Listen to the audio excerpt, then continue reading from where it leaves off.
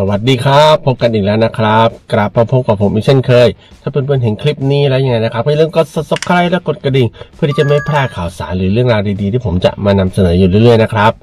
ข้อมูลที่ขึ้นอยู่ตรงนี้นะครับ เพื่อนๆอาจจะเป็นหนึ่งในคนที่ยังไม่ได้กดติดตามช่องของผมยังไงผมก็ฝากกดติดตามให้ด้วยนะครับ วิธีลดค่าเบี้ยประกันชั้นหนึ่งให้ถูกลงกว่าปกติ ประกันรถยนต์ชั้นหนึ่งแม้ว่าจะให้ความคุ้มครองครอบคลุมมากที่สุด แต่ก็แลกมาด้วยค่าเบี้ยประกันที่สูงที่สุดเช่นกันครับ ลองมาดูกันนะครับว่ามีวิธีอะไรบ้างที่สามารถลดค่าเบี้ยประกันชั้นหนึ่งผมจะมาแนะนำให้รับชมรับฟังกันครับ แม้ว่าปัจจุบันนะครับ ประกันชั้น 2 บวกและ 3 บวก จะได้รับความนิยมเป็นอย่างมาก เนื่องจากค่าเบี้ยประกันถูกกว่าประกันชั้น 1 อย่างเห็นได้ชัด และให้ความคุ้มครองใกล้เคียงกับประกันชั้น 1 อีกด้วย แต่อย่างไรก็ตามนะครับ ประกันชั้น 2 บวกและ 3 บวกนั้น จะคุ้มครองรถคันเอาประกันภัย เฉพาะที่มีคู่กรณีเท่านั้น หากเกิดเหตุการณ์ชนแล้วหนี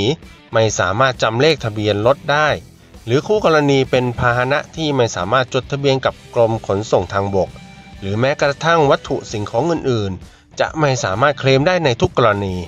ซึ่งถือเป็นข้อควรระวังการเลือกประกันชั้น 2 บวกและ 3 บวกทั้งหลายนะครับ ถึงกระนั้นนะครับผมแม้ว่าค่าเบี้ยประกันชั้น1จะค่อนข้างสูง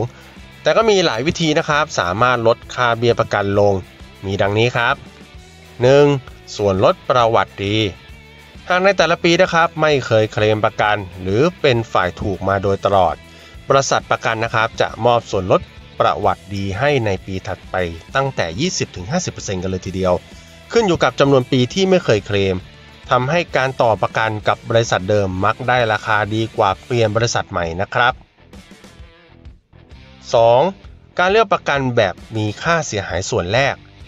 ค่าเสียหายส่วนแรกนะครับ หรือ deductible เป็นวงเงินที่เราต้องรับผิดชอบหากเกิดอุบัติเหตุที่เป็นฝ่ายผิด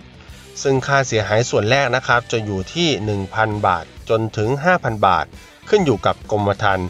แต่แผนที่มีค่าความเสียหายส่วนแรกเหล่านี้นะครับ ก็จะถูกลงกว่าปกติด้วยเช่นกัน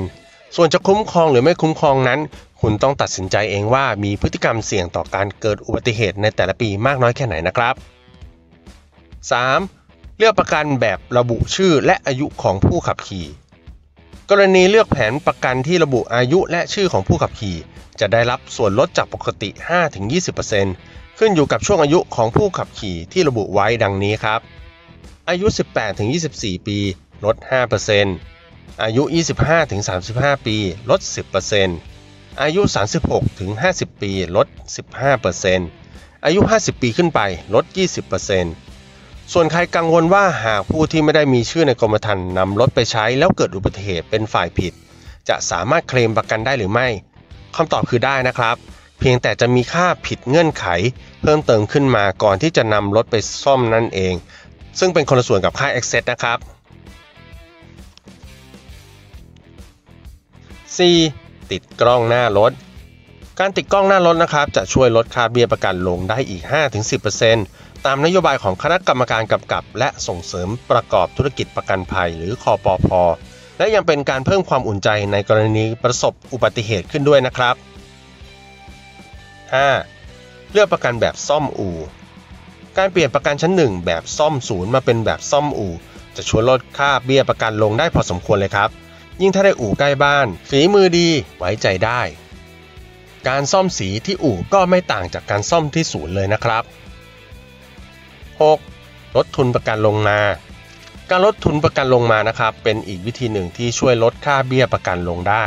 แต่วิธีนี้ไม่แนะนำเท่าไหร่นะครับ เนื่องจากการลดทุนประกันจะทำให้เบี้ยประกันลดลงไม่มาก เช่น ลดทุนประกันลงจาก 4 0 0แสนบาท เหลือ 3 0 0แสนบาท แต่เบี้ยประกันนะครับอาจลดลงเพียงหลักร้อย หรือหลักพันต้นๆ ทั้งนี้นะครับขึ้นอยู่กับลักษณะการใช้งานและพฤติกรรมการขับขี่ของแต่ละบุคคลด้วยครับ 7. เช็คเบี้ยประกันกับบริษัทประกันโดยตรง